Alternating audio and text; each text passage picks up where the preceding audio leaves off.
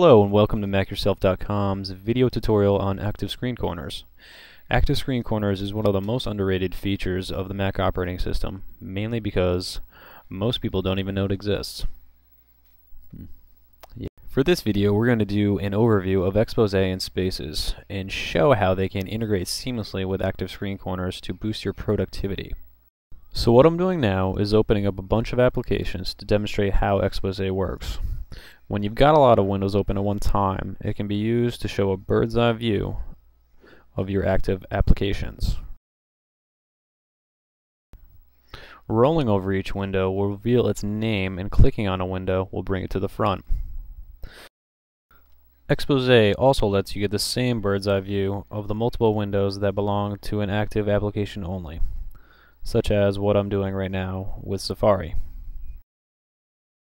Finally, you can use Expose to temporarily hide all open windows to reveal the desktop.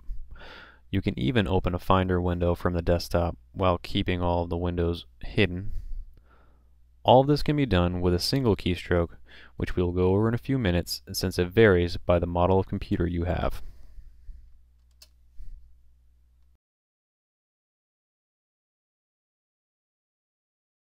Okay, we're going to open up System Preferences to set up spaces, a new feature in Mac OS X Leopard. Click the Expose and Spaces button and ensure the Spaces tab is selected at the top. Select the checkbox on the left to enable spaces and you'll notice that the options to set up rows and columns are displayed. This is where you can choose how many different spaces to set up. You can go all the way up to 16, but we're going to stick with 4 for now.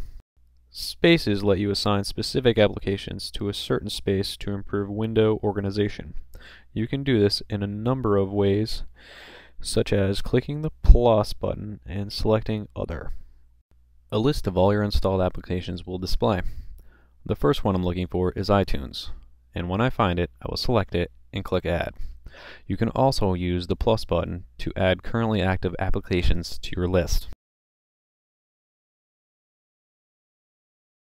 Another easy way to add programs to the assigned application list is to open a Finder window, navigate to the Applications folder, and simply drag something to the white space in the Spaces window.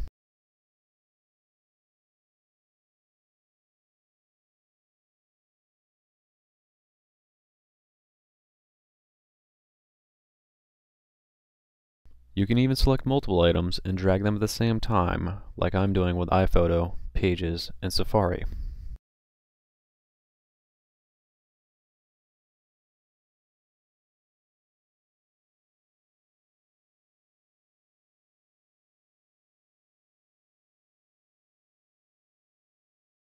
Once you've gathered a good list of your commonly used applications, you can assign them to only open in a specific space.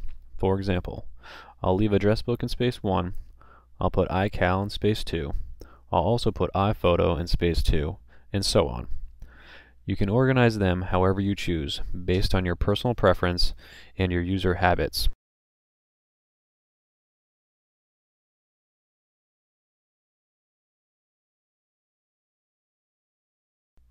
If you want an application to stay consistent and appear in all spaces, you can do that as well. A helpful tool for Spaces is to enable its icon to be shown in the menu bar. This will show you what space you're currently in and will allow you to change spaces. For example, I'll go to space 4, which is where I assigned pages to be. Another way to navigate between spaces is to click on the icon in the dock. This will give you an overview of all the spaces and what is currently open in each of them. I'm going to open up some more apps, like iTunes, which will immediately bring me to space 3, where it was assigned to reside. Clicking a program's icon in the dock will do the same thing.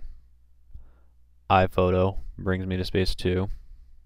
Since iCal also assigned to space 2, it opens right where I currently am.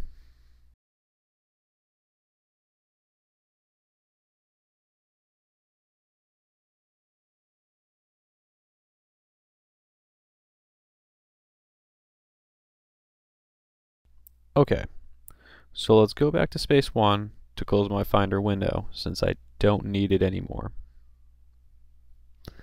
and then click the Spaces icon in the dock.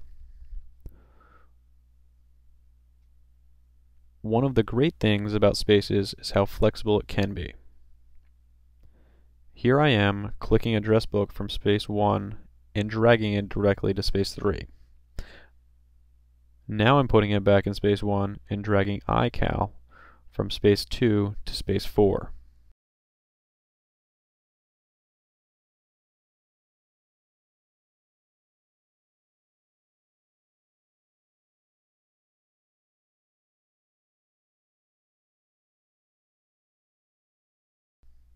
Spaces even works together with Expose to show you thumbnails of everything that's within each space. This is especially useful for dragging apps from space to space. Back in the System Preferences window for Spaces, we're going to set up even more useful ways to trigger Spaces changes. In the field that's called To Switch Between Spaces, make sure the first option, Control plus arrow keys, is selected. In the field that's called To Switch Directly to Space, also make sure the first option is selected. These will enable you to use Control plus arrow keys to navigate between spaces, or you can use Control plus 3 to go to the third space, Control plus 2 to go to the second space, and so on. Even more tricks include being able to drag entire spaces to a new position, like turning my fourth space into my third space by clicking and holding the blue background area and moving your mouse.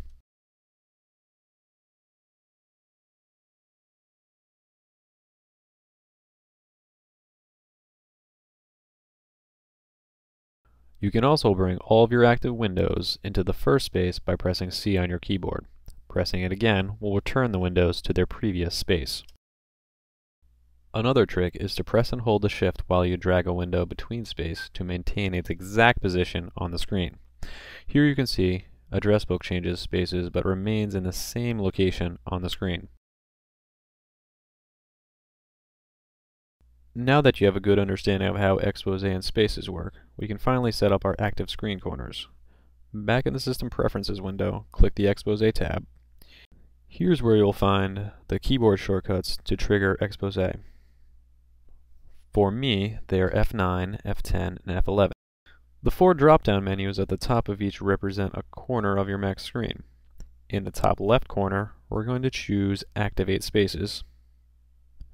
In the bottom left corner, select all windows.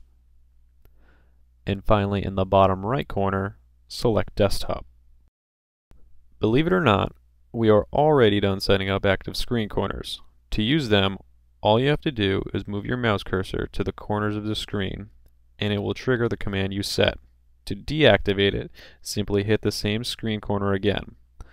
Activating the Spaces corner and then the All Windows Expose corner will show you everything currently open on your system. So there it is, Active Screen Corners enables all the power of Expose and Spaces. Nice and easy with no keyboard shortcuts to remember. Thanks for watching, and go Mac yourself.